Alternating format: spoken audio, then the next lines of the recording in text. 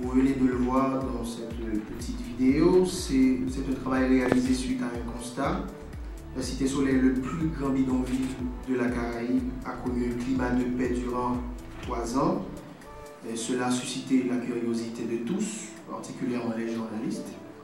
Donc, dans ce travail réalisé pendant euh, environ 7 à 8 mois, j'ai pu découvrir que l'ancienne génération et la nouvelle génération des hommes armés euh, procèdent autrement. Vous venez de le voir.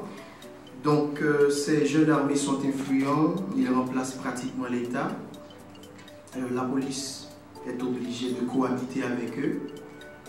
pour officialiser leurs actions, ils créent des fondations et interviennent dans plusieurs domaines des autorités politiques ou membres du secteur privé haïtien les accompagnent, euh, comme pour contrôler ou euh, pour protéger leurs entreprises se trouvant euh, dans les les parages Donc, à la faveur de cette paix, il faut dire que plusieurs autoprojets porteurs d'espoir ont vu le jour et des familles ont progressivement revenu et reprennent leurs activités qu'elles ont abandonnées depuis cette période de, turbulence de la Cité Soleil.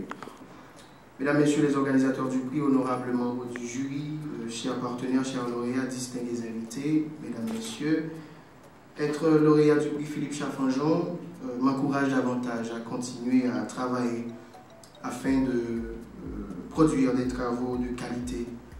recevoir ce prix, c'est également motiver les journalistes haïtiens, particulièrement les jeunes, être lauréat, c'est montrer aux journalistes haïtiens qu'il est possible d'aborder en profondeur des sujets sensibles qui touchent certains problèmes de société liés notamment au banditisme, à l'environnement, à l'état civil, euh, etc.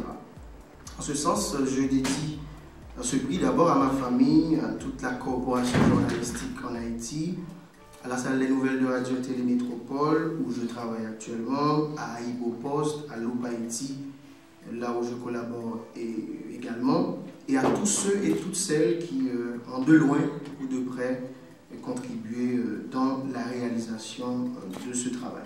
Cette cérémonie de remise du prix m'offre l'occasion de m'adresser à mes confrères haïtiens, mais à tous les journalistes à travers le monde.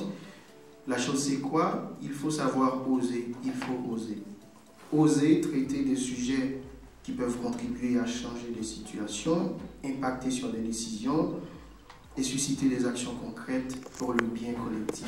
Donc ensemble pour un journalisme utile, un journalisme qui peut contribuer à changer les communautés, changer le monde.